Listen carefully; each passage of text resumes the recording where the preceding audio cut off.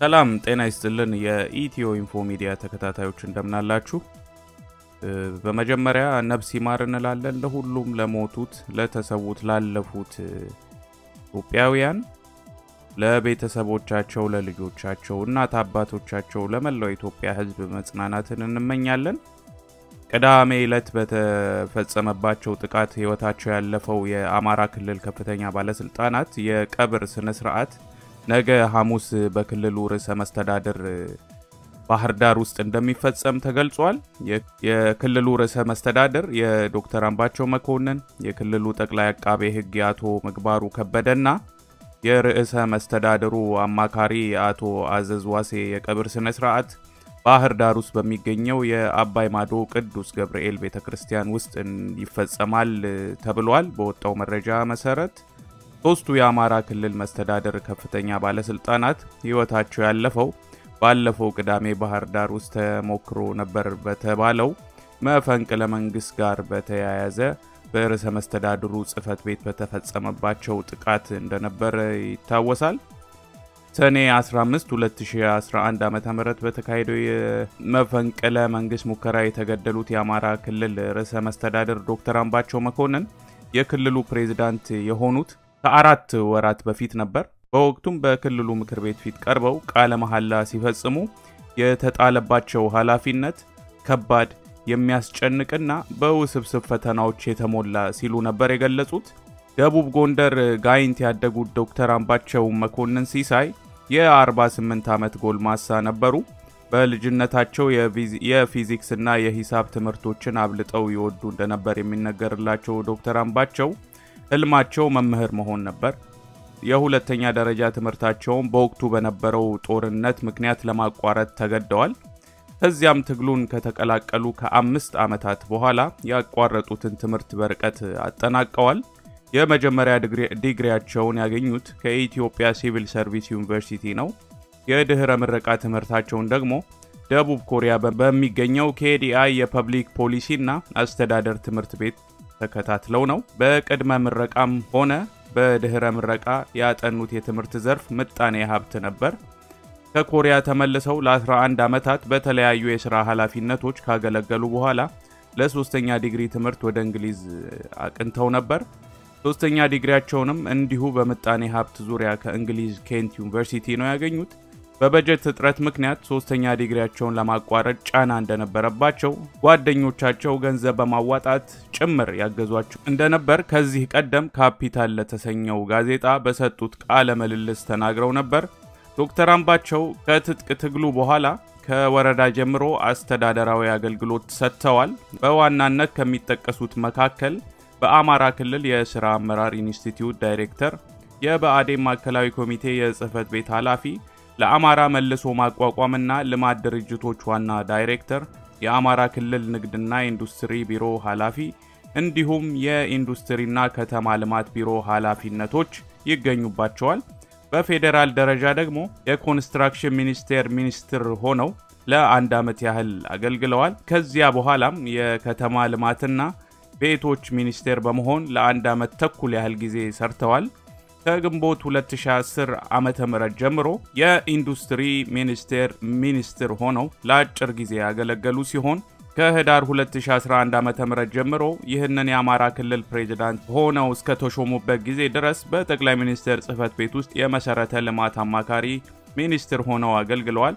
ዶክተር አምባቸው ከለውጡ በኋላ ለርዕሰ ብሔርነት ታጭተው እንደነበርና ህዝቡም ሆነ ፓርቲያቸው በፖለቲካው ተሳትፏቸው እንዲቀጥሉ በመፈለጋቸው ሀሳባቸውን መቀየራቸው ሲነገር ነበረ። ዶክተር አምባቸው እንግዲህ ብዙ ለሀገር ብዙ ሊያበረክቱ የሚችሉ ካሉት የፖለቲካ ሰዎች አንጻር ወጣት የሚባሉ ገና ብዙ ነገር ሊሰሩ የሚችሉ ሰው ነበሩ።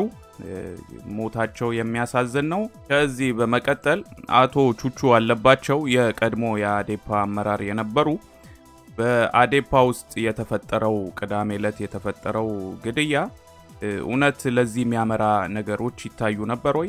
ምን አይነት ጉዳዮች ነበሩ ለህዝቡ ያልወጡ ብዙ ሰው ያላያቸው ነገሮች አሉ ወይ ተብለው ለተጠየቁት ጥያቄ ከቢቢሲ ጋር ያደረጉትን አጭር ቆይታ እናቀርብላችኋለን። እነዚህ ነገሮች ለመረጃ የሚያገለግሉ ናቸው።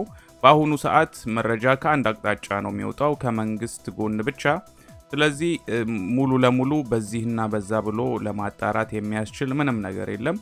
ለአድማጮቻችንም እኛ በተቻለ መጠን የተሳሳተ መረጃ ላለማቀበል እንሞክራለን።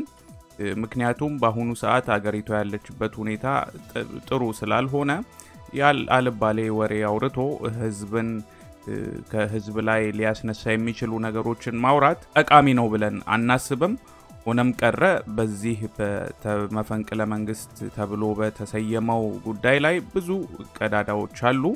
እንግዲህ እነዚህ ነገሮች ጊዜ ሲፈቅድ ነገር ሲረጋጋ በደንብ አድርገን የምንመለስባቸው ይሆናል። አሁን ግን የሞቱትን መዘከር፣ የሞቱትን ማሰብ፣ መጽናናትን ማድረግ ለቤተሰቦቻቸው፣ ለልጆቻቸው፣ ለእናት አባቶቻቸው፣ ለሁሉም ለወዳጅ ዘመድ እንደው ፋታ መስጫ ጊዜ መሆን አለበት ብለን እናምናለን። ለዛም ነው እና በተረፈ ያው ይሄንን ቃለ መጠይቅ አዳምጡ። አንዳንድ ቁም ነገሮች ልታገኙበት ትችላላችሁ። እናመሰግናለን። አቶ ቹቹ አለባቸው ከጥቂት ዓመታት በፊት ከአማራ ዲሞክራሲያዊ ድርጅት እስከተለያዩበት ጊዜ ድረስ የድርጅቱ ከፍተኛ አመራር ነበሩ። የሟች ዶክተር አምባቸው መኮንንም የቅርብ ጓደኛ ነበሩ። ምህረት አስቻለው ከቅርብ ጊዜ ወዲህ ድርጅቱ ውስጥ መከፋፈልና መካረር ነበረ ወይ ስትል ጠይቃቸው ነበር። ቆይቷል ቆይቷል። ከአንድ ዓመት በላይ የሆነዋል። የድርጅቱ ባህሪ እየተቀየረ አንድ ቡድን የበላይነቱን ይዞ ለመውጣት በሚያደርገው ትግል የህዝቡን ጥያቄዎች ደግሞ የሚይዙ አካላት እኔ እዚህ አካል ስለነበርኩ ለምነግርሽ መካረር ነው ወደዚህ ደረጃ የሚያመራ ባህል አልነበረም ድርጅቱ። ልዩነቶቹ ምን በሚሉና ምን በሚሉ ኃይሎች ነው መካረሮቹ ምንን ሀሳብ በሚያራምዱና ምን በሚፈልጉ መካከል እየተፈጠረ የነበረ ነው? የዚህ ዋነኛ ችግር ከህወሀት ያለው ጋር ግንኙነትን ችግር በመፍታትና ባለመፍታት ነው። አንዱ ቡድን በተለይ አምባቸው አሁን ያለው ለውጥ ኃይል የሚባለው ችግር መኖሩን አምኖ ግን ችግሩን የምንፈታው በውይይትና በድርድር በዲሞክራሲያዊ መንገድ የሚል አለ። ቀደም ሲል የነበሩት የተወገደ ነበረከት ቡድን የሚባለውን ደግሞ የአማራን ህዝብ ጥቅም አሳልፎ የሰጠ የሚል ከፍተኛ ክስ ነው የነበረው።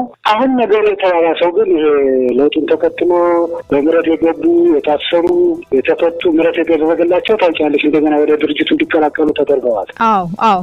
እኒህ ኃይሎች ነገሮችን በሚዛኑ ካለው አመራር ጋር ተጣጥሞ መሄድ አይቻልም። እንዳልኩሽ ካለ ቁጭት አለ። የአማራን ህዝብ በደል በስፋት ያነሳሉ።